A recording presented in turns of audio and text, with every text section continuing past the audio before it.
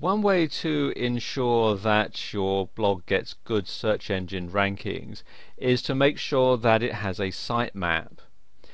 And there are various ways that you can create a sitemap for your WordPress blog, but I'm going to show you one of the simplest ones in this video.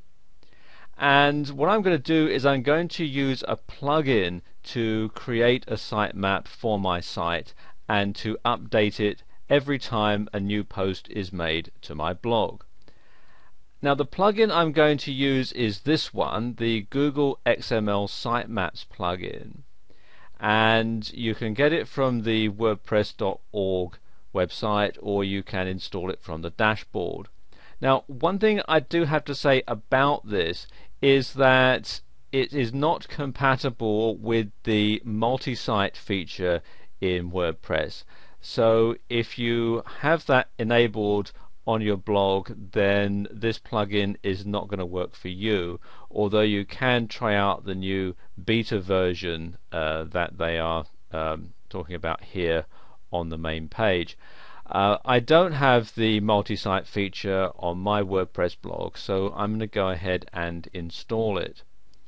So we come over here to plugins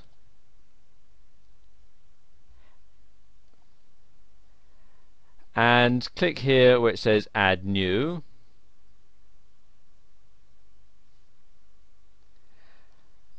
And then I'm going to search the plugins. And I'm going to put in Google XML sitemaps. And click on search plugins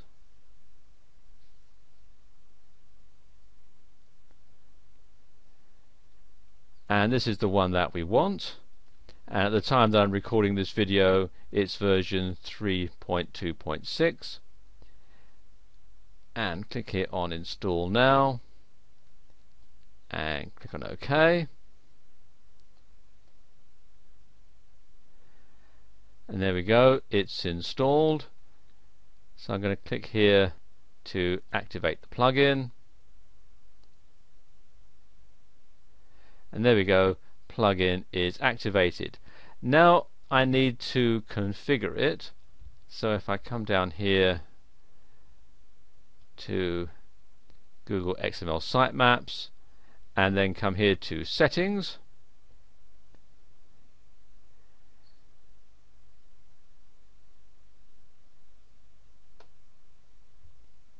you can actually just leave it all at the default settings if you wish but you can also customize it as well. Uh, we're going to leave it here write a normal XML file which is your file name and this is very important so leave that checked. And you can also write a gzipped file as well.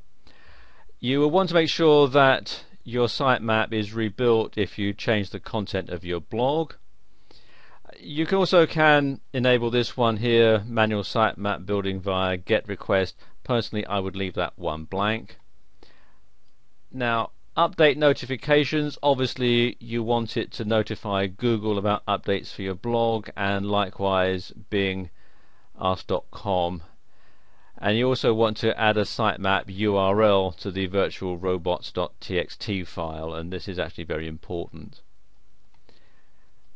in some of the advanced options here when you're just starting out if it's a new blog you don't really want to limit the number of posts in the sitemap um, newer posts will be included first if you've got a blog that's been established for a while and you've got you know three or four hundred posts on it, then you really don't need to have that indexed every single page because some of the older posts aren't really going to be relevant. So you can insert a number of posts in there if you wish.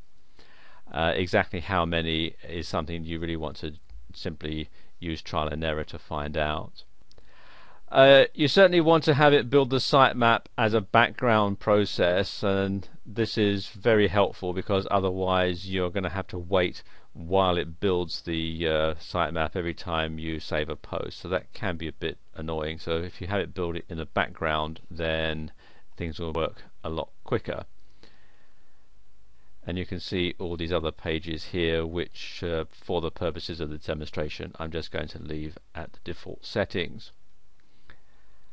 Again you've also got some things that you can either alter or change or leave alone. Um, the post priority I'm going to leave it at the default comment count. And automatic detection of the uh, sitemap.xml file. I'm going to leave that at the default settings as well. In your sitemap content, um, again, you you want to include your home page, obviously, and the posts. If you have categories, then you want to include those. And if you have authors uh, that post regularly on your blog, you might want to include those pages as well. and include the last modification time certainly if you're going to exclude certain items now for example if you have a category that you really don't want indexed if it's uh, a lot of private posts that are password protected and so on then quite frankly you wouldn't want those included in your sitemap. So you would uh, include those in here. I don't have any so it's blank. And the only category I've got is uncategorized. So I want to leave that included. So leave all that blank. Then we've got the change frequencies. And as it says this is a hint and not a command. But you should alter that depending on the frequency that you make your posts your home page should be crawled every day posts Personally, I would set that to weekly. Likewise, the static pages. Categories, if you don't add categories very often, then you could make that monthly. And the current archive, and this should be the same as your home page, so we'll keep that as daily.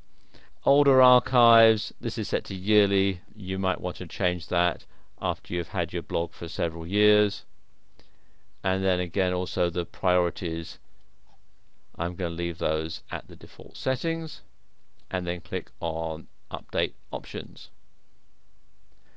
There we go. The configuration has been updated and saved now I need to build my sitemap because this is the new installation. So I click here